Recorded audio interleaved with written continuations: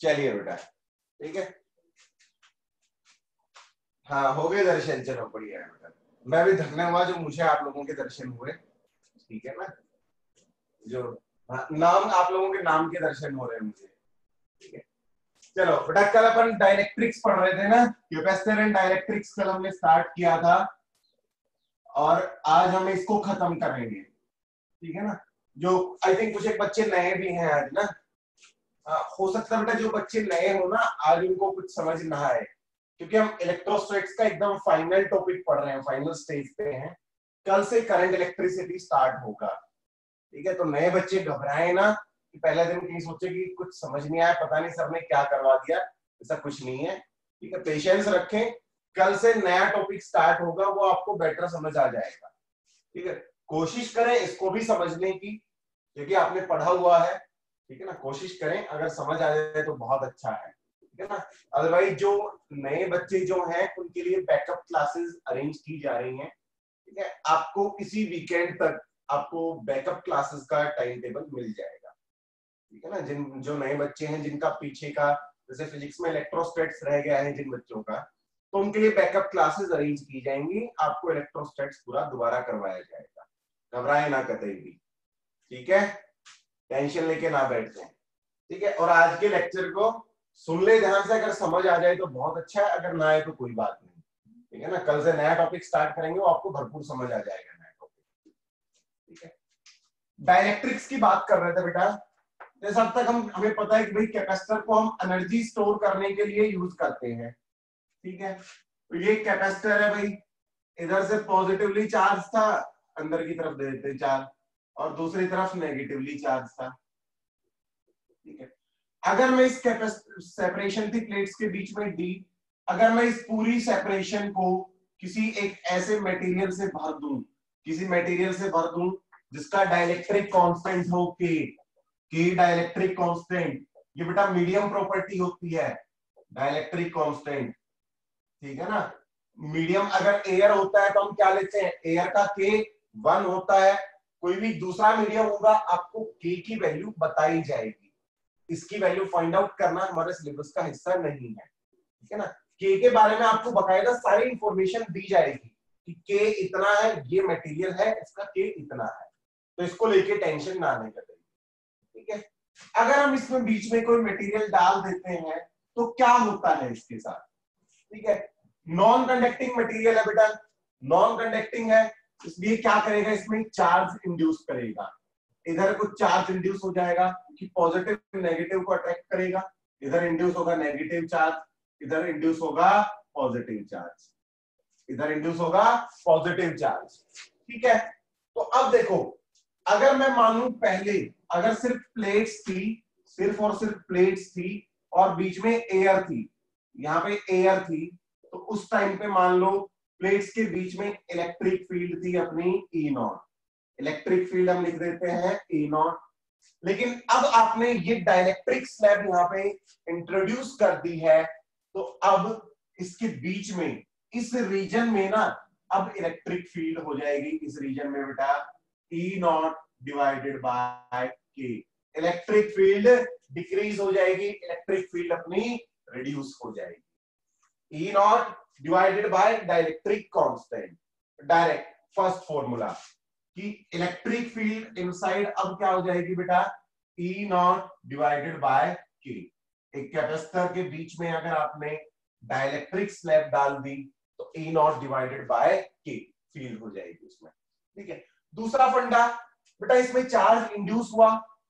ठीक है? अब मान लो बाहर चार्ज था क्यू प्लेट्स पे चार्ज था क्यू अगर इसमें भी क्यू चार्ज इंड्यूस हो गया सेम चार्ज इंड्यूस हो गया तो आप देखो बेटा कैपेसिटर की प्लेट्स की वजह से फ़ील्ड इस तरफ़ राइट साइड में और इंड्यूस चार्ज की वजह से फ़ील्ड इस तरफ़। अगर दोनों चार्जेस इक्वल हो गए तो दोनों फील्ड्स भी क्या होंगी? इक्वल और अपोजिट है तो नेट फ़ील्ड क्या हो जाएगी? ज़ीरो तो हम यहाँ पे ऐसा मटेरियल चूज़ नहीं करेंगे जिसमें की फ़ील्ड अपनी, जिसमें चार्ज इसके इक्वल इंड्यूस हो, जिसमें चार्ज इसके इक्वल इंड्यूस हो, ठीक है? तो इंड्यूस चार्ज का भी हमारे पास फॉर्मूला होता है कि कितना चार्ज इंड्यूस होगा, उसको हम लिखते हैं Q one minus one by K Q into one minus one by K Q charge on plates one minus one by K के डायलेक्ट्रिक कांस्टेंट उस मटेरियल का, ठीक है? इससे आप पता कर सकते हैं कि इस स्लैब में कितना चार्ज इंड्यूस होगा। इस स्लैब में कितना चार्ज इंड्यूस होगा। हम चार्ज इंड्यूस भी पता कर लिया। ठीक है? अनदर इंपॉर्टेंट इंफॉर्मेशन बेटा मेटल्स के लिए मेटल्स का के वन होता है। मेटल्स का डायलेक्ट्रिक सॉरी इंफिनिटी मेटल्स का डायलेक्ट्रिक कांस्टेंट इंफिनिटी होता है। जितने भी मेटल्स होते हैं, उनका डायलेक्ट्रिक कांस्टेंट इंफिनिटी होता है। Only for metals non metals के लिए नहीं ठीक है?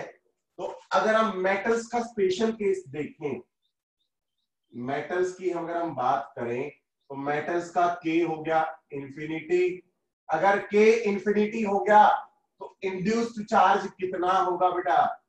इंड्यूस्ड चार्ज कितना आएगा? क्यू के इक्वल यानी कि जितना चार्ज प्लेट पे है, जितना चार्ज प्लेट पे है, उतना ही चार्ज इंड्यूस होगा। ठीक है? और बड़ा शानदार कॉन्सेप्ट में यहाँ से समझाऊँगा तुम्हें, जो पहले भी पढ़ा है हमने।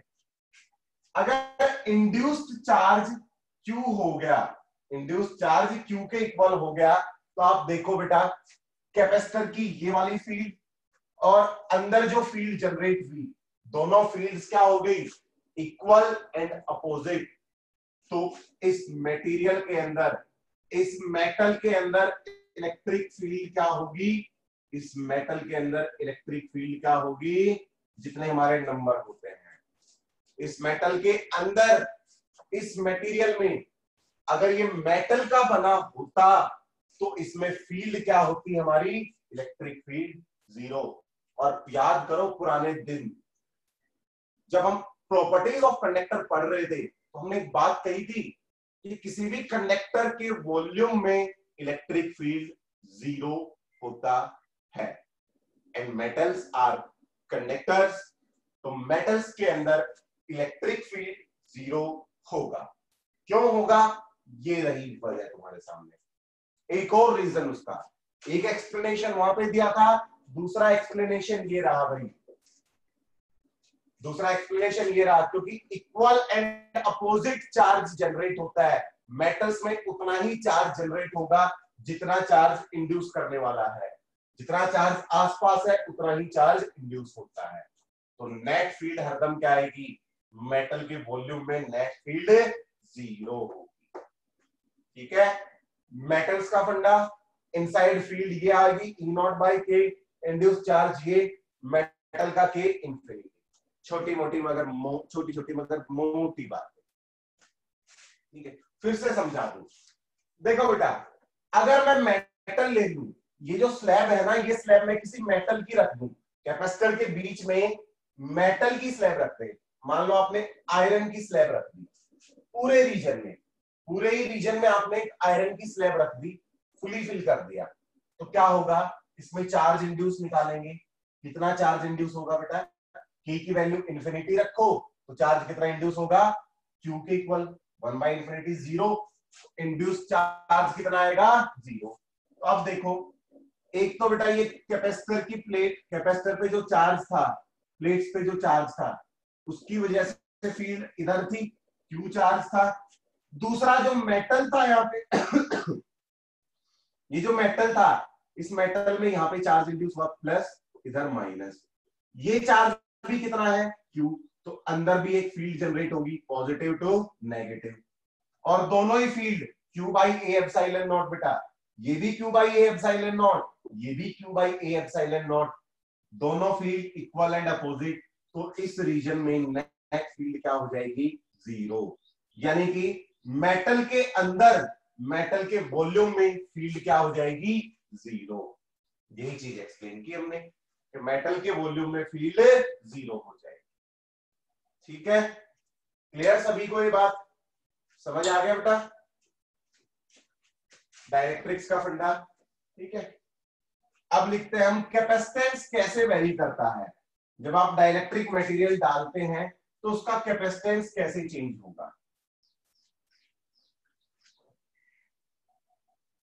ठीक है आपने किसी कैपेसिटर के बीच में एक डायरेक्ट्रिक स्लैब डाल दी तो उसका कैपेसिटेंस क्या होगा?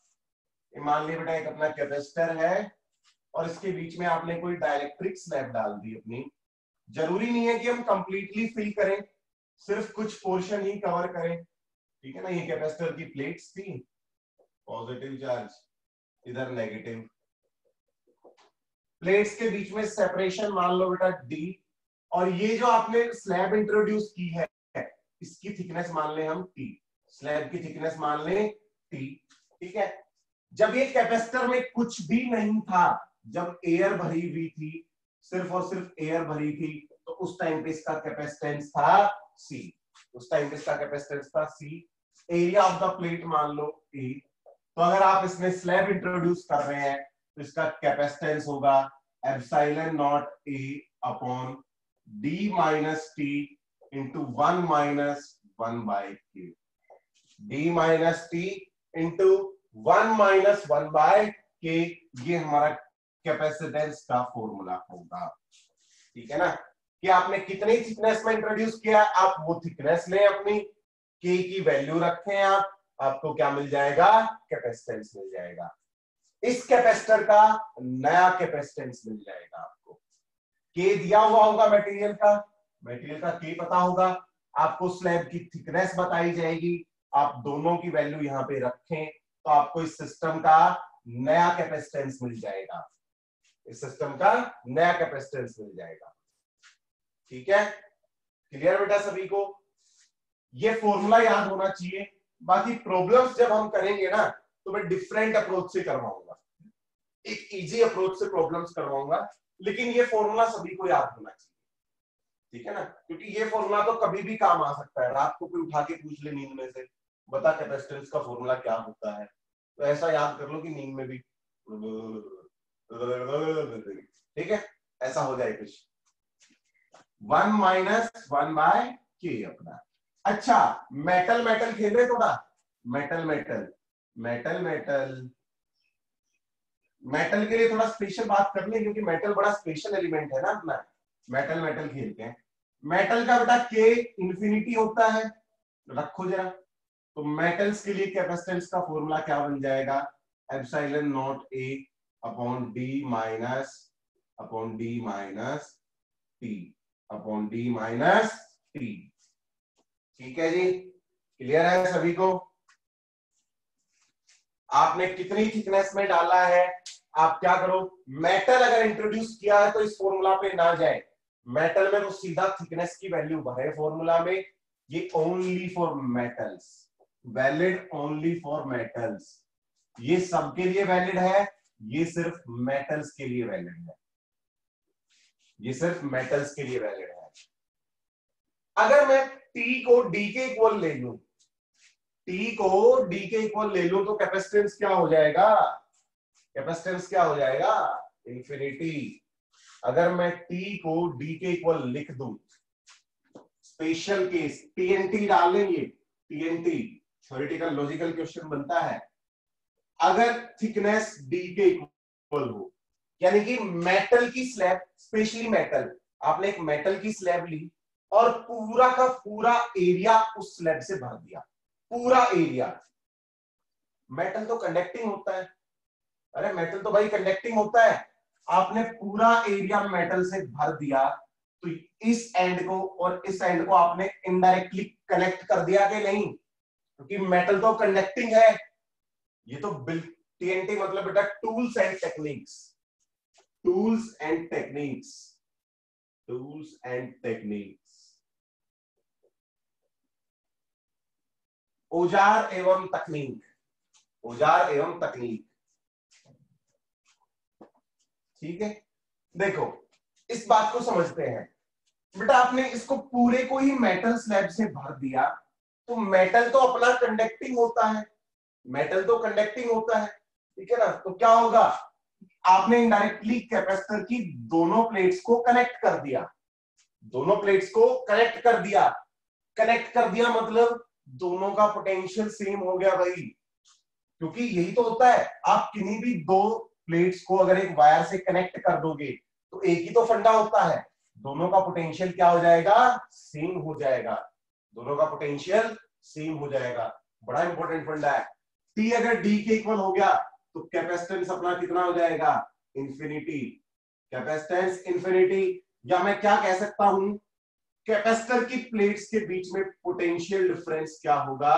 Zero V1 is equal to V2 V1 और V2 क्या होगा? इक्वल होगा। V1 और V2 इक्वल जरा ध्यान दें, एक प्लेट पे चार्ज था प्लस क्यू एक प्लेट पे चार्ज था माइनस क्यू अगर आप दोनों को कनेक्ट कर देंगे तो चार्ज क्या होगा? सारा प्लस क्यू माइनस क्यू के साथ मिल जाएगा। तो नेट चार्ज क्या आएगा? ज़ीरो नेट चार्ज क्या आएगा? ज़ीरो यानी कि कैपेसिटर का चार्ज डिसअपियर हो जाएगा। ये सारी बातें यहाँ से। अगर आपने एक कैपेसिटर को कंप्लीटली मेटल स्लैब से भर दिया तो उसका सारा चार्ज डिसअपियर हो जाएगा। जितना भी उस पर चार्ज था, वो सारा का सारा चार्ज डिसअपियर हो जाएगा। ठीक है? तो ये नोट करें, और फिर एक बात लिखे टीएनटी में ही, एक चीज़ लिख लें।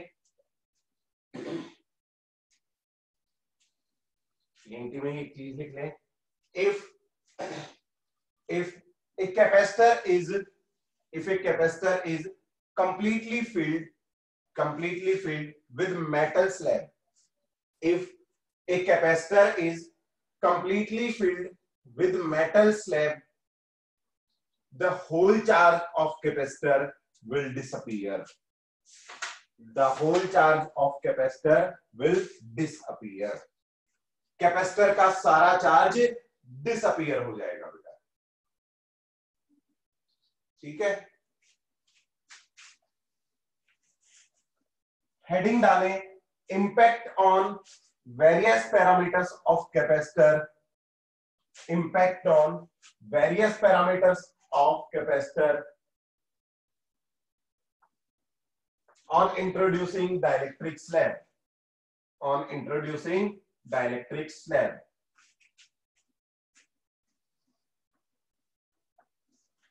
capacitor के किन किन पैरामीटर्स पे क्या क्या फ़र्क पड़ने वाला है?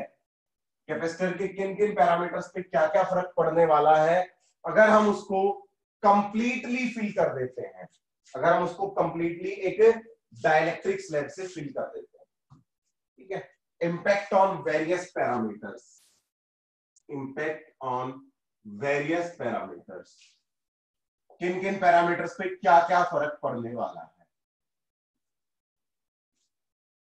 ठीक है? सबसे पहले हेडिंग लिखे बेटा isolated charge capacitor case one की हम बात करते हैं isolated charge capacitor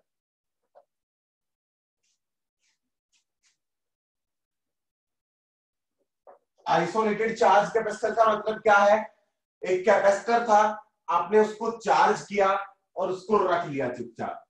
कैपेसिटर को सर्किट में कनेक्ट नहीं कर रखा कैपेसिटर किसी बैटरी से कनेक्ट नहीं है। आइसोलेटेड का मतलब ये किसी बैटरी से, किसी एक्सटर्नल सिस्टम से कनेक्टेड नहीं है। ठीक है ना? चार्ज करके आपने चुपचाप इसको रख दिया यहाँ पे। ठीक है ना? तो ये एयर भरी हुई थी तब। अब मान लो आप इसमें पूरे में एक डायलेक्ट्रिक स्लैब डाल देते हैं। एक डायलेक्ट्रिक स्लैब डाल दें, जिसका डायलेक्ट्रिक कांस्टेंट होगा के के डायलेक्ट्रिक कांस्टेंट की स्लैब इंट्रोड्यूस कर दी। तो इसके किन किन पैरामीटर्स पे क्या क्या फ़र्क पड़ने वाला है, वो हम स्टडी करेंगे। वो चीज़ें हम पढ़ेंगे यहाँ पे। ठीक है? क्लियर है बेटा? जब एयर भरी हुई थी तो इस पे चार्ज हम मान ले बेटा, था Q इसका कैपेसिटेंस था C इसकी पोटेंशियल एनर्जी थी U ठीक है ना? एनर्जी स्टोर और इसका पोटेंशियल था V इलेक्ट्रिक फ़ील्ड थी E और भी कुछ बच गया। कैपेसिटर की प्लेट्स के बीच में फोर्स था F दिख रहा है नीचे तक सभी को? ठीक है? क्लियर देखो बेटा, जब इसके बीच में सिर्फ़ एयर भरी हुई थी कैपेसिटर आपने लिया, एक सिंपल कैपेसिटर लिया तो उसका चार्ज हमने माना क्यू था कैपेसिटेंस सी था उसका पोटेंशियल एनर्जी उसमें यू स्टोर थी। पोटेंशियल इसकी प्लेट्स के बीच में वी था। इलेक्ट्रिक फ़ील्ड ई थी। फोर्स इसकी प्लेट्स के बीच में एफ़ था। ठीक है? अब आपने इसमें एक स्लैब इंट्रोड्यूस कर दी। आपने इसमें एक मेटल स्लैब कोई भी स्लैब किसी भी डायरेक्ट्रिक कांस्टेंट की आपने एक स्लैब इंट्रोड्यूस कर दी तो इसके साथ क्या होगा? इसका जो चार्ज होगा आपकी बार जो चार्ज होगा वो अनचेंज रहेगा। चार्ज पे कोई भी फ़र्क नहीं पड़ेगा। ठीक है ना? आइसोलेटेड कैपेसिटर में आइसोलेटेड कैपेसिटर को अगर आपने स्लेब इंट्रोड्यूस कर दी तो इसमें चार्ज पे कोई भी फ़र्क नहीं पड़ने वाला बट कैपेसिटेंस चेंज हो जाएगा। Capacitance will be K times of air वाला।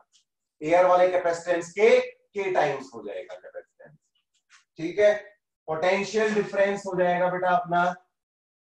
एयर वाले potential difference divided by K air वाला potential difference divided by K दूसरे पैरामीटर्स अपना इलेक्ट्रिक फ़ील्ड भी क्या हो जाएगा? P डिवाइडेड बाय के ठीक है? और हमारा पोटेंशियल एनर्जी जो होगी, वो भी हो जाएगी अपनी U बाय के ठीक है? फोर्स अपना सेम रहेगा। फोर्स सेम रहेगा। ठीक है? लिखे सही बच्चे हैं पैरामीटर्स ये ज़रूरी है याद रखने। ठीक है? अगर आइसोलेटेड सिस्टम दे दिया एयर थी, इसके बीच में स्लैब डाल दी तो इसके ऊपर जो चार्ज था वो ही चार्ज रहेगा। चार्ज में कोई चेंज नहीं आने वाला। सेकंड इसका कैपेसिटेंस चेंज हो जाएगा बेटा। कैपेसिटेंस के टाइम्स हो जाएगा। ये मैं सिर्फ़ तब की बात कर रहा हूँ, जब फुली फिल्ड है। जब पूरा भरा हुआ है, तब की बात कर रहा हूँ मैं सिर्फ़। ठीक है? पोटेंशियल डिफरेंस क्या होगा? पुराना potential difference divided by K air वाले पोटेंशियल डिफरेंस को के से डिवाइड कर दो डायरेक्ट्रिक कांस्टेंट से। इलेक्ट्रिक फ़ील्ड क्या होगा? एयर वाली इलेक्ट्रिक फ़ील्ड डिवाइडेड बाय के पढ़ चुके हैं हम ये बात तो पहले भी। सबसे पहले यही चीज़ पढ़ी थी। Original field divided by K potential energy भी क्या होगी? डिक्रीज हो जाएगी। U by K force between plates पे कोई भी फ़र्क नहीं पड़ेगा। प्लेट्स के बीच में फोर्स वैसे के वैसा ही रहेगा। ठीक है? क्लियर है बेटा? चलो। अब केस सेकंड की हम बात करें। केस टू हम लिखें। Capacitor connected to battery capacitor को अगर बैटरी से कनेक्ट कर दिया जाए तो। कैपेसिटर कनेक्टेड टू बैटरी अब क्या बैटरी से कनेक्टेड कैपेसिटर था? इनिशियली बैटरी से कनेक्टेड था। और कुछ भी नहीं बना हुआ था एयर थी बीच में। ठीक है? और अब बैटरी से ही कनेक्टेड है, इसमें मटेरियल भर दिया के के डाइलेक्ट्रिक कांस्टेंट का मटेरियल भर दिया और ये बैटरी से ही कनेक्टेड है। ये बैटरी से ही कनेक्टेड है। बैटरी का पोटेंशियल मान लो है वी बैटरी का पोटेंशियल है वी तो अब इसके किन किन पैरामीटर्स पे क्या क्या फ़र्क पड़ेगा? ठीक है? ये चीज़ें तो याद रखने वाली है बेटा सारी। ये डायरेक्ट रिज़ल्ट है जो हम यूज़ करेंगे। जब आप क्वेश्चन करेंगे तो आपको ये बातें पता होनी चाहिए। आइसोलेटेड सिस्टम में ये है नॉन आइसोलेटेड में पैरामीटर्स हम डिस्कस करेंगे। ठीक है? मान लो बेटा चार्ज था अपना क्यू इनिशियली जब ये एयर में था तब कैपेसिटेंस था सी पोटेंशियल था वी इलेक्ट्रिक फ़ील्ड थी ई पोटेंशियल एनर्जी थी यू फोर्स था एफ़ फोर्स था एफ़ ठीक है? दिख रहा है ना फोर्स तक सभी को? ठीक है जी। अब क्या होगा बेटा इसमें? चार्ज अब की बार क्या होगा बेटा? अगर ये बैटरी से कनेक्टेड है तो चार्ज डेफिनेटली इस पे इंक्रीज हो जाएगा। डायरेक्ट्रिक स्लैब इंट्रोड्यूस करने का फ़ायदा एकमात्र। अगर आप कैपेसिटर बैटरी से कनेक्टेड है और आप इसमें डायरेक्ट्रिक स्लैब इंट्रोड्यूस कर देते हैं तो क्या होगा? उस पर चार्ज बढ़ जाएगा, यानी कि चार्ज स्टोरिंग कैपेसिटी इसकी इंक्रीज हो जाएगी। ज़्यादा चार्ज ये स्टोर कर पाएगा। कैपेसिटेंस क्या होगा? के इंटू सी नया कैपेसिटेंस के इंटू सी इलेक्ट्रिक फ़ील्ड पे कोई फ़र्क नहीं पड़ेगा। इलेक्ट्रिक फ़ील्ड एकदम सेम रहेगी। पोटेंशियल भी एकदम सेम रहेगा और पोटेंशियल एनर्जी भी बढ़ जाएगी। एनर्जी स्टोर भी इंक्रीज हो जाएगी। ज़्यादा एनर्जी स्टोर करेगा। भाई, चार्ज ज़्यादा स्टोर करेगा तो एनर्जी भी तो ज़्यादा स्टोर करेगा ना। ठीक है? और फोर्स जो होगा, फोर्स जो होगा, वो K square times of F plates के बीच में जो फोर्स होगा, वो भी के स्केयर टाइम्स इंक्रीज हो जाएगा। के की पावर टू टाइम्स इंक्रीज हो जाएगा। ठीक है? क्लियर हाँ जी। बोलो भाई हाँ या ना? सभी को समझ आया? हाँ जी। ठीक है, चलो। अब देखो सेकंड केस के साथ ही ना अपन थोड़ा छेड़खानी कर लेते हैं। अपने को पुरानी आदत है ना छेड़खानी करने की। जो हमारा पढ़ा हुआ कॉन्सेप्ट है, उसी को थोड़ा अप्लाई कर ले उस पर देखो बेटा इनिशियली कैपेसिटर जब एयर कनेक्टेड था एयर भरी हुई थी तो इस पे चार्ज था क्यू इस पे चार्ज था क्यू ठीक है? अब आपने कैपेसिटर के बीच में स्लैब डाल दी तो चार्ज हो गया के क्यू चार्ज हो गया के क्यू फाइनल चार्ज यानी कि इनिशियल चार्ज था अपना क्यू इनिशियल चार्ज था क्यू फाइनल चार्ज क्या आ गया? के क्यू भाई बैटरी ने कुछ ना कुछ चार्ज सप्लाई किया। बिल्कुल किया। बैटरी ने, ये जो बैटरी कनेक्टेड थी, ये बैटरी इस बैटरी ने एडिशनल चार्ज सप्लाई किया इसको। कितना चार्ज सप्लाई किया?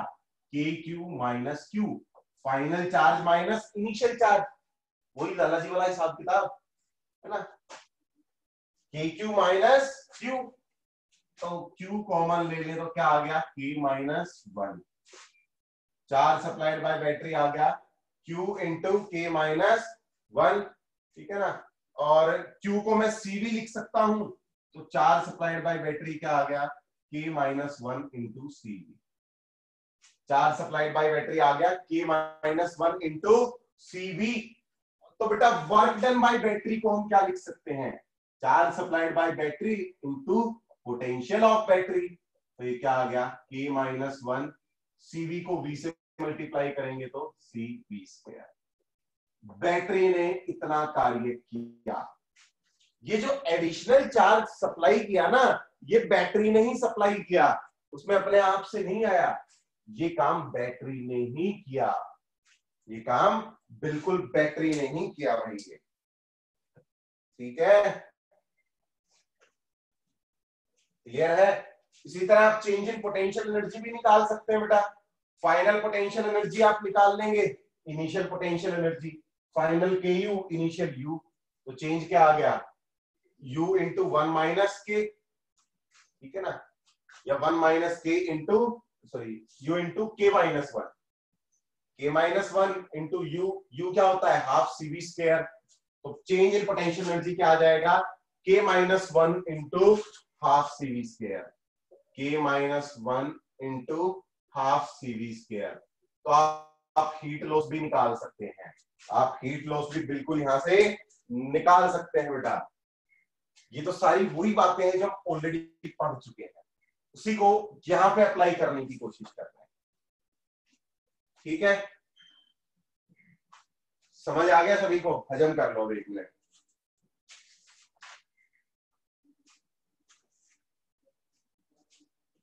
हाँ जी। डाइजेस्ट हो जाए तब बता देना।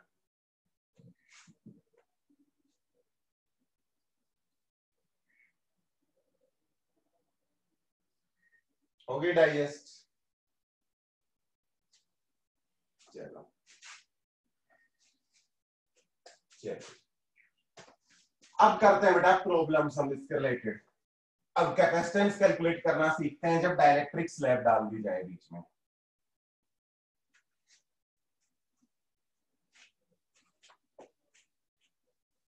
कुछ एक क्वेश्चंस करते हैं और फिर इस चैप्टर का हम समापन समारोह रखते हैं।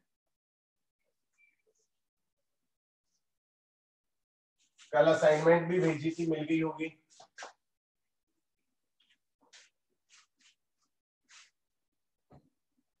ठीक है। Question number one first question है बेटा अपना। एक कैपेसिटर था। इसमें क्या किया? ये कैपेसिटर था, इसमें दो स्लैब इंट्रोड्यूस कर दी। एक स्लैब यहाँ पे के वन की, जिसकी थिकनेस थी टी वन दूसरी स्लैब ऐसे। कंप्लीटली फिल कर दिया इसको दो स्लैब से। ये के टू ये T two find equivalent capacitance अब इस सिस्टम का नया कैपेसिटेंस बताओ क्या होगा।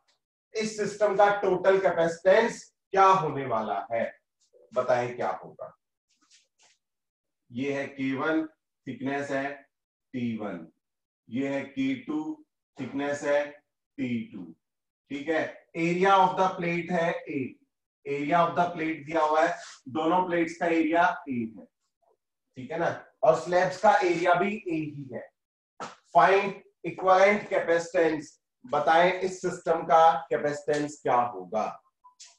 तो अभी सिर्फ़ सुने और फिर अप्लाई करें। दो चार मिनट सुन ले फिर अप्लाई कर ले जब भी बेटा इक्वलेंट कैपेसिटेंस की प्रॉब्लम आए ना ब्रेक कर लो सिस्टम को। आप क्या कर लो? आपके पास ना दो कैपेसिटर हैं। एक कैपेसिटर ये है, जिसमें के वन मेटीरियल है थिकनेस है टी वन और इसी के साथ में एक कैपेसिटर दूसरा कनेक्टेड है, जो है अपना के टू थिकनेस है जिसकी टी टू और ये दोनों कैपेसिटर सीरीज़ में है बेटा, दिख रहे हैं अपने को। इस सिस्टम के अकॉर्डिंग मैंने डिवाइड कर लिया। मैंने क्या किया कि भाई, एक ये इसको सेपरेट कर लिया, इसको भी सेपरेट कर लिया। दोनों कैसे कनेक्टेड है? सीरीज़ में कनेक्टेड है। तो आपको इन दोनों पॉइंट्स के बीच में कैपेसिटेंस निकालना है। इसका मान लो C1 इसका मान ले C2 ठीक है? बहुत पुराने, बेटा, सन अठारह की क्रांति में जब हम लड़ रहे थे तब हमने एक फॉर्मूला पढ़ा था कैपेसिटर का। पैरेलल प्लेट कैपेसिटेंस का फॉर्मूला क्या होता है? A epsilon naught by B अठारह वाली क्रांति में जब हम लड़ रहे थे ना युद्ध झांसी की रानी जब शहीद हुई थी उस टाइम पे। हाँ, उसी दिन हमने ये फॉर्मूला पढ़ा था। पैरेलल प्लेट कैपेसिटर का कैपेसिटेंस क्या होता है? A epsilon naught by D ठीक है तो इसी फॉर्मूला का इस्तेमाल करें जरा यहाँ पे। C1 क्या मिलेगा आपको? एरिया ऑफ़ द प्लेट भाई ए ही है। एरिया तो ए है। Epsilon naught by by D इसकी थिकनेस दोनों प्लेट्स के बीच में सेपरेशन T1 बाय T1 ठीक है? लेकिन ये किसके लिए था? दिस वॉज़ फॉर एयर ये एयर के लिए था। अगर मेटीरियल भी डाला हुआ है तो multiplied by T one C one को हम क्या कर देंगे? के वन से मल्टीप्लाई कर देंगे। ठीक है? सिमिलरली सी टू बेटा ए एप्साइलन नॉट एरिया तो सेम है। थिकनेस भाई separation between plates T two air नहीं है मटेरियल है तो के टू अगर एयर होती तो के टू ना लिखते। दोनों का कैपेसिटेंस मिल गया भाई। इक्वलेंट कैपेसिटेंस का फॉर्मूला सीरीज़ में।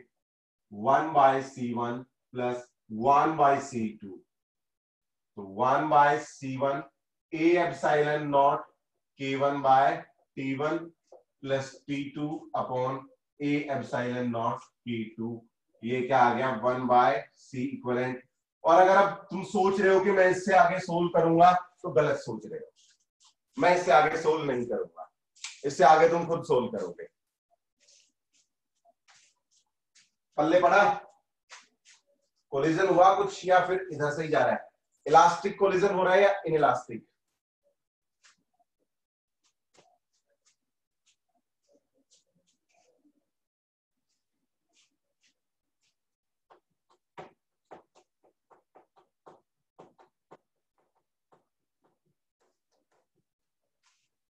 इलास्टिक कोलिजन मतलब कुछ समझ नहीं आ रहा। इलास्टिक का मतलब क्या है कि जिस एनर्जी से आ रहा है, उसी एनर्जी से वापस जा रहा है।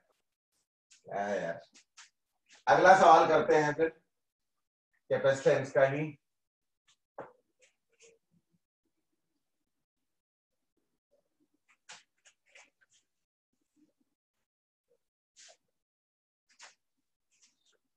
अब की बार अलग तरीके से इंट्रोड्यूस कर दिया।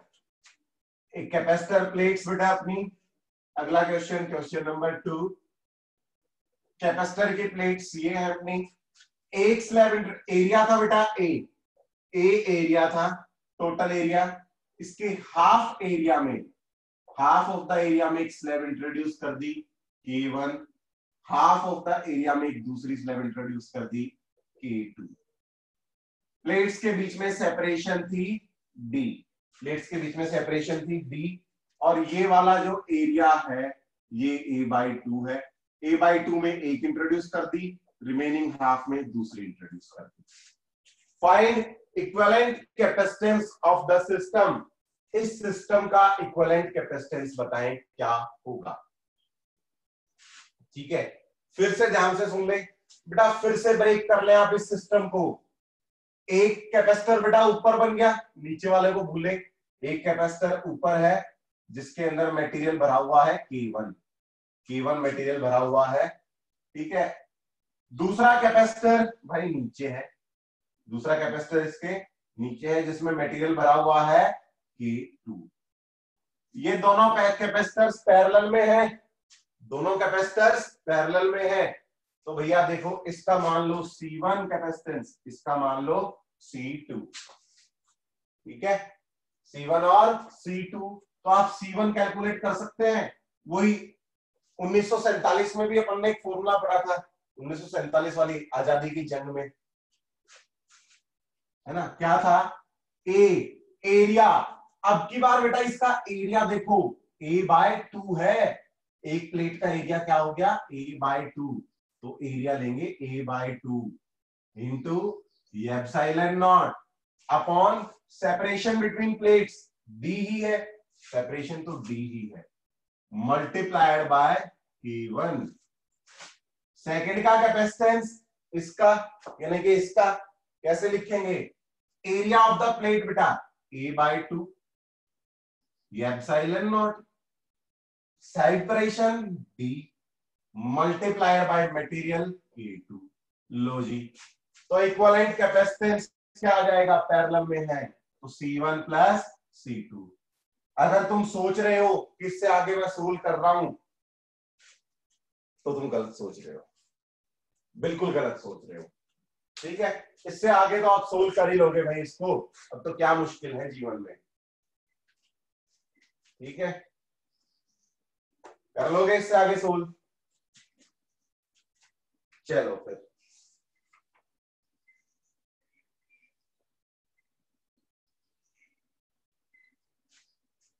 अच्छा इसी से रिलेटेड ना थोड़ा खेल खेलते हैं, थोड़ा हँसी मज़ाक करते हैं। तुम्हारा ज्ञान चेक करते हैं एक बार। कितनी अंडरस्टैंडिंग है, अब तक कितना समझा है इलेक्ट्रोस्टैटिक्स या कैपेसिटर्स को तुमने कितना समझा है? ठीक है? भाई एक पैरेलल प्लेट कैपेसिटर ठीक है? इतमान से सुने, मैं बड़ा धीरे धीरे बोल रहा हूँ। एक पैरेलल प्लेट कैपेसिटर इसके अपर हाफ़ में आपने मटेरियल इंट्रोड्यूस किया के वन इसके लोअर हाफ़ में आपने मटेरियल इंट्रोड्यूस किया के टू लोअर हाफ़ में आपने मटेरियल इंट्रोड्यूस किया के टू कैपेसिटर की प्लेट पे पहले चार्ज था प्लस क्यू इधर चार्ज मान लो है minus Q plus Q minus Q ठीक है जी? अच्छा। जितना पूछू उतना बताना। आपने एक स्लैब से कनेक्ट कर दिया आपने इनको। कंप्लीटली स्लैब फिल कर दी तो क्या आपको ऐसा नहीं लगना चाहिए कि इन दोनों एंड्स का पोटेंशियल सेम हो जाएगा? इन दोनों का पोटेंशियल सेम हो जाएगा? ना। इनका पोटेंशियल सेम नहीं होगा। पहली बात तो ऐसा लगना नहीं चाहिए, क्योंकि ये नॉन कंडक्टिंग मटेरियल है मेटल नहीं है। तो पहला ये वहम जो होता है, ये कुछ एक वहम है जो दिमाग से निकाल दिया ठीक है? अब मैं ये मान लू कि इसके स्लैब इसके जो एक कैपेसिटर ऊपर बना, एक कैपेसिटर ऊपर बन गया और एक कैपेसिटर अपना नीचे। ठीक है? इसकी प्लेट्स के बीच में पोटेंशियल डिफरेंस V1 इसकी प्लेट्स के बीच में पोटेंशियल डिफरेंस V2 इसकी प्लेट्स के बीच में पोटेंशियल डिफरेंस V1 इसकी प्लेट्स के बीच में डिफरेंस V2 है ना? तो V1 और V2 दोनों क्या होंगे बेटा? डेफिनेटली इक्वल होंगे। दोनों पोटेंशियल डिफरेंसेस इक्वल होंगे, क्योंकि पैरेलल में है भाई। दोनों के बीच में पोटेंशियल डिफरेंस क्या होगा? पैरेलल में है तो सेम होगा। V1 और V2 सेम होगा। मान लो इसके रीजन में इलेक्ट्रिक फ़ील्ड है ई वन इसके रीजन में इलेक्ट्रिक फ़ील्ड है ई टू दोनों रीजन में हमने फ़ील्ड मान ली ई वन और ई टू तो मैं पोटेंशियल डिफरेंस को क्या लिख सकता हूँ? ई वन इंटू डी अगर सेपरेशन डी है। E one into D is equal to E two into D तो यहाँ से हमें क्या मिल गया? E one is equal to E two E one is equal to E two यानी दोनों के अंदर फ़ील्ड इक्वल होगी। दोनों के अंदर फ़ील्ड इक्वल होगी। क्या मैं सही पहचान रहा हूँ? ये बात समझ आई सबको? है ना? अपना वे ऑफ़ थिंकिंग हम देख रहे हैं कि भाई दोनों क्या है? पैरेलल में कनेक्टेड है। तो दोनों के अक्रॉस पोटेंशियल डिफरेंस क्या होगा? सेम होगा पोटेंशियल डिफरेंस पोटेंशियल डिफरेंस को आप क्या लिखते हैं? Electric field multiplied by separation electric field मान लो इवन थी, दोनों के बीच में सेपरेशन ई ए डी थी तो यहाँ से हमें क्या मिला? कि ऊपर वाले स्लैब में, ऊपर वाले कैपेसिटर और नीचे वाले कैपेसिटर दोनों में ही इलेक्ट्रिक फ़ील्ड सेम होगी। ठीक? क्लियर अब बात करें हम इनिशियली मैंने क्या कहा था, मान लो कैपेसिटर में एयर है तो फ़ील्ड आपने मान ली ई नॉट कैपेसिटर में एयर है तो आपने फ़ील्ड मान ली ई नॉट अगर कोई मेटेरियल इंट्रोड्यूस कर देते हैं तो फ़ील्ड क्या हो जाती है? इसमें फ़ील्ड क्या होनी चाहिए? E naught by K one और इसमें फ़ील्ड क्या होनी चाहिए? E naught by K two अरे हाँ या ना तो कह दो यार।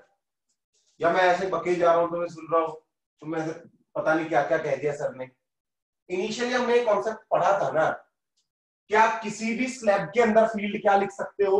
E naught by K one E naught by K two ठीक है? इस स्लैब के अंदर फ़ील्ड हमने लिख दी E naught by K one इस स्लैब के अंदर फ़ील्ड हमने लिख दी E naught by K two ठीक है? यानी कि ई e वन हो गया E naught by K one E two हो गया E naught by K two और हमारे इस फंडा से भाई दोनों इक्वल होने चाहिए।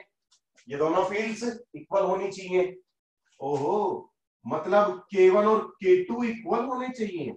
वाह वाह, ये तो है ही नहीं। अरे भाई, यहाँ से तो क्या मिल गया? बड़ा खतरनाक रिज़ल्ट मिल गया। मैंने दोनों अलग अलग मटेरियल्स लिए और मुझे यहाँ पे पता चला कि के वन और के टू इक्वल है। अगर हम ये फंडा अप्लाई करते हैं तो हमें पता चला के वन और के टू इक्वल है। पॉसिबल ही नहीं है। कोई मतलब ही नहीं है के और के कैसे इक्वल हो जाएँगे। तो हमारी ये अप्रोच एकदम गलत थी यहाँ पे। ये जो हमने अप्रोच ली ना, जो हमारा कॉमन सेंस था, जो हम जहाँ से हम सोचते, हमारी सोच के अनुसार ऐसा होना चाहिए था, ये अप्रोच एकदम गलत है। ये अप्रोच एकदम गलत है। क्यों गलत है? बता देते हैं।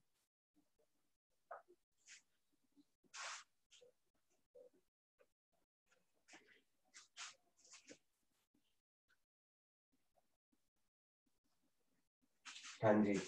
गलत क्यों है बेटा? ठीक है, गलत इसलिए है, मान लो आप इसको बैटरी से कनेक्ट कर दे। बैटरी से कनेक्ट कर दे तो ऊपर वाली प्लेट पे चार्ज ऊपर वाले कैपेसिटर पे चार्ज कितना आएगा? के वन क्यू नीचे वाले पे के टू क्यू नीचे वाले पे क्या आएगा? के टू क्यू ऊपर वाले पे के वन क्यू यानी कि दोनों पे चार्ज डिफरेंट है बेटा। प्लेट के अपर हाफ़ में और प्लेट के लोअर हाफ़ में दोनों पे चार्ज डिफरेंट है। दोनों पे चार्ज डिफरेंट है।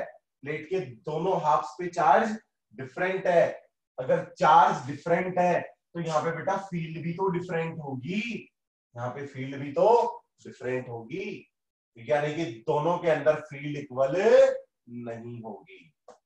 दोनों के अंदर फ़ील्ड इक्वल नहीं होगी।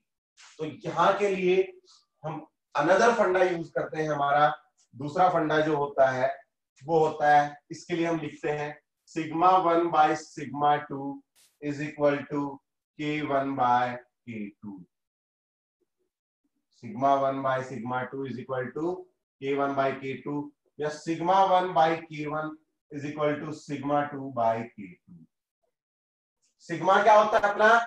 Charge density. सिग्मा अपनी चार्ज डेंसिटी होती है। तो ये बहुत इंपॉर्टेंट फॉर्मूला है ये। आपको दो कैपेसिटर प्लेट्स पे अगर चार्ज डेंसिटी कंपेयर करनी है तो आप उनके K one by K two का रेशियो ले लें। आप उनकी चार्ज डेंसिटीज को कंपेयर कर सकते हैं। ठीक है? हाँ जी।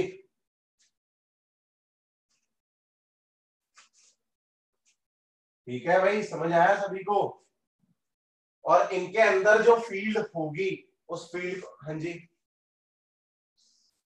सर पोटेंशियल तो इक्वल होगा ना? आपका क्या कहना है बेटा? डेफिनेटली इक्वल होगा पोटेंशियल अरे ये भैया, समझ नहीं आ रहा भैया, आप क्या लिख रहे हैं?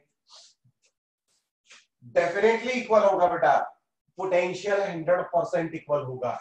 क्योंकि देखो चार्ज दोनों का डिफरेंट है, दोनों में फ़ील्ड भी डिफरेंट होगी। अगर आपने दोनों के अंदर फ़ील्ड कंपेयर करनी है ना तो फ़ील्ड का भी फॉर्मूला यही है। E1 one by E two is equal to K one by K two दोनों के अंदर फ़ील्ड का रेशियो ठीक है? Potential difference will be definitely same parallel में है पोटेंशियल डिफरेंस सेम रहेगा। तो ये फंडा ज़रूरी है अपने लिए। ये यहाँ से ड्राइव होता है। ठीक है ना? कि भाई दोनों पे अगर चार्ज डिफरेंट डिफरेंट है दोनों पे तो दोनों में फ़ील्ड भी तो डिफरेंट डिफरेंट होगी। अपर हाफ़ और लोअर हाफ़ में फ़ील्ड भी डिफरेंट डिफरेंट होगी। अगर फ़ील्ड डिफरेंट है तो चार्ज डेंसिटीज भी हमारी कुछ ना कुछ होंगी और चार्ज डेंसिटीज को हम ऐसे निकाल सकते हैं। रेशियो ऑफ़ चार्ज डेंसिटी ठीक है? तो एक आध सवाल और करते हैं अपन कैपेसिटर का।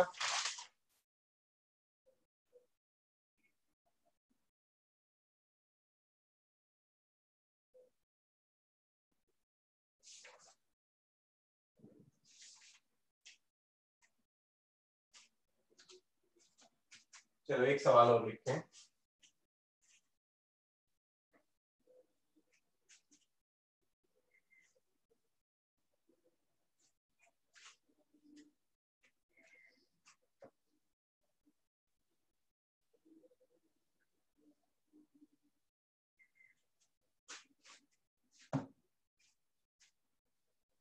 एक कैपेसिटर है, उसमें एक स्लैब इंट्रोड्यूस कर दी, कुछ ऐसे ये एक ही स्लैब रखी इसमें। के कांस्टेंट के डायरेक्टरी कांस्टेंट की एक स्लैब रख दी गई यहाँ पे, ठीक है ना? प्लेट का एरिया था ए तो ये ए बाई टू एरिया में फिल कर दी। ए बाई टू एरिया में, और इसकी थिकनेस थी हाँ डी इसकी थिकनेस थी प्लेट्स के बीच में सेपरेशन थी डी तो ये भरा गया डी बाई टू में। डी बाई टू रीजन में ये भर गया। Find equivalent capacitance of the system बताओ, इस सिस्टम का इक्वलेंट कैपेसिटेंस क्या होगा? सिर्फ़ इस इस एरिया में भरी गई। यहाँ पे एयर है, यहाँ पे भी एयर है। ठीक है? सिर्फ़ इस इस सिस्टम में भरी गई है।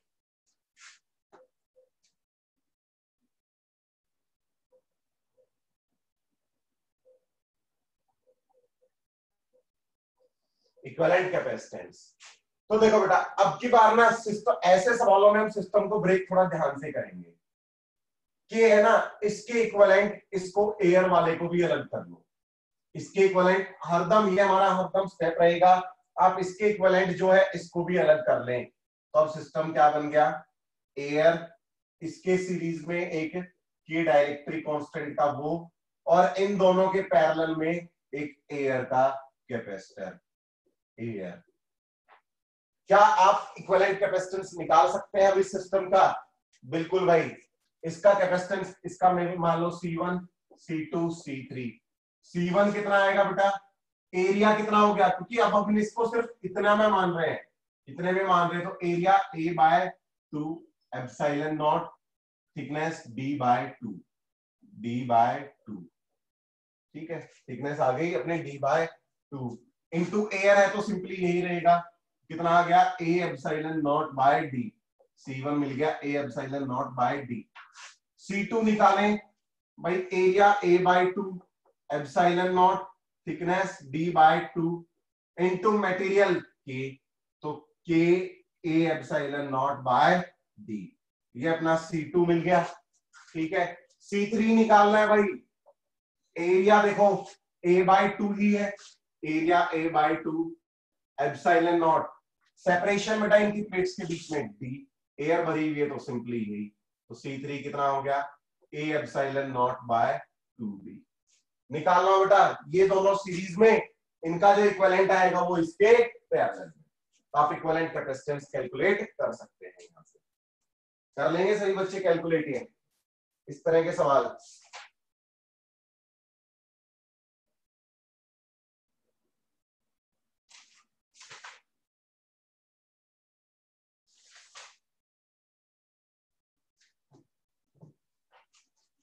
हाँ जी, बोलो हाँ या ना?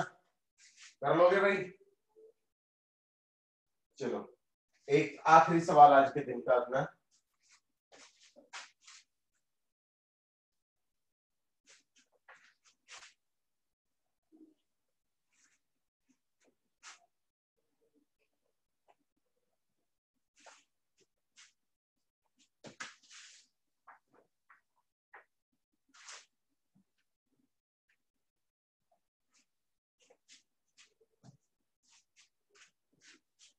अपना सवाल है क्या? न्यूमेरिकल है वैल्यूज़ दी हुई हैं। एक स्लैब इधर भरी हुई है, इसमें एक मटेरियल इधर है, एक इधर भरा हुआ है। इधर वाला है के वन टू है के टू थ्री है। ये सेपरेशन डी है। ये वाली सेपरेशन भी डी है। ठीक है? इस पे चार्ज है प्लस क्यू इस प्लेट पे चार्ज है माइनस क्यू प्लेट्स का एरिया है ई e और ए find, first part है बेटा find equivalent capacitance of the system. Find equivalent capacitance of the system. जल्दी से कैलकुलेट बताएँ, करके बताएँ. With calculation final result equivalent capacitance क्या होगा इस सिस्टम का? ब्रेक कर दो भाई दो पार्ट्स में. एक कैपेसिटर ये C1 एक कैपेसिटर ये C2 C1 C2 तो C1 कितना आएगा? ए एरिया ए है epsilon not thickness D D भी है ऑलरेडी डी में है. इनटू के टू सी टू कितना आएगा? A epsilon not by thickness D ही है. इनटू थ्री इक्वलेंट कैपेसिटेंस कैसे निकालेंगे? C one C two upon C one plus C two sir ने ये फॉर्मूला तो बताया नहीं था, बताऊँगा भी नहीं. C one C two multiply करोगे six A epsilon not by D का square upon C one plus C two five A epsilon not by D तो कितना बच गया इक्वलेंट कैपेसिटेंस अपना? Six by five A epsilon not by D six by five A epsilon not by D ठीक है? अगला सवाल पूछ ले। फाइंड के इक्वलेंट ये इन दोनों का सिस्टम इस पूरे सिस्टम का के इक्वलेंट बताओ। के इक्वलेंट यानी कि मैं इन दोनों स्लैब्स को हटा के इस पूरे रीजन में एक ही स्लैब भरना चाहता हूँ। तो सेम रिज़ल्ट के लिए मैं किस डायरेक्ट्रिक कांस्टेंट की स्लैब ठीक है? ये पार्ट ध्यान से देख ले, क्योंकि ये हमने नहीं पढ़ा है। के इक्वलेंट वाला पोर्शन बेटा सी इक्वलेंट को मैं क्या लिख सकता हूँ? के इक्वलेंट इंटू सी क्योंकि स्लैब मान लो, ये अब सवाल भूल जाओ। इनिशियली आपके पास एयर थी, ठीक है? अब आपने इसमें एक स्लैब इंट्रोड्यूस कर दी के तो मैं इसका कैपेसिटेंस क्या लिख सकता हूँ? के इंटू इसका एयर वाला कैपेसिटेंस के इंटू एयर वाला कैपेसिटेंस तो के इक्वलेंट एयर वाला कैपेसिटेंस क्या होगा बेटा? A epsilon not by separation D plus D two D separation आएगी तो A epsilon not by two D और सी इक्वलेंट निकाल चुके हैं six by five A epsilon not by D तो A epsilon not by D cut गया। तो के इक्वलेंट कितना आ गया? ट्वेल्व बाय फाइव अगर मैं इन दोनों को हटा के एक ही स्लैब यूज़ करूँ, इतने डायरेक्ट्रिक कांस्टेंट की तो वो सेम रिजल्ट्स आपको देगी। यहाँ ठीक है? समझ आ गया? क्लियर बेटा सभी को? तो इसी के साथ अपना इलेक्ट्रोस्टेट्स एंड कैपेसिटर्स ओवर हो गया है। इलेक्ट्रोस्टेट्स अपना कंप्लीट हो गया है। ठीक है? किसी को कोई डाउट हो, किसी भी टॉपिक में, किसी क्वेश्चन में तो अपने डाउट्स व्हाट्सएप पे सेंड कर दिया ठीक है ना? अपने डाउट्स मुझे व्हाट्सएप पे सेंड कर दिया करें बच्चे, जिनका जो भी समस्या हो, जो परेशानी हो, ठीक है? और कल से हम नया चैप्टर स्टार्ट करेंगे करंट इलेक्ट्रिसिटी करंट इलेक्ट्रिसिटी जिसमें KVL KCL Wheatstone bridge etcetera etcetera बहुत सारे टॉपिक्स है ना? ठीक है? तो कल मिलते हैं फिर से केवीएल और केसीएल के साथ में। अच्छा टॉपिक है, बड़ा इंटरेस्टिंग टॉपिक है, ठीक है? तो कल की क्लास कोई भी मिस ना करे, ध्यान रहे। पहली क्लास मिस गया पूरा चैप्टर फिर काम से। फिर पूरे चैप्टर में सिर्फ़ ऐसे ऐसे बैठ के हाँ। ऐसे ही चलता रहेगा फिर तो। ठीक है? चलो ठीक है बेटा बाय सभी को। मिलते हैं कल फिर।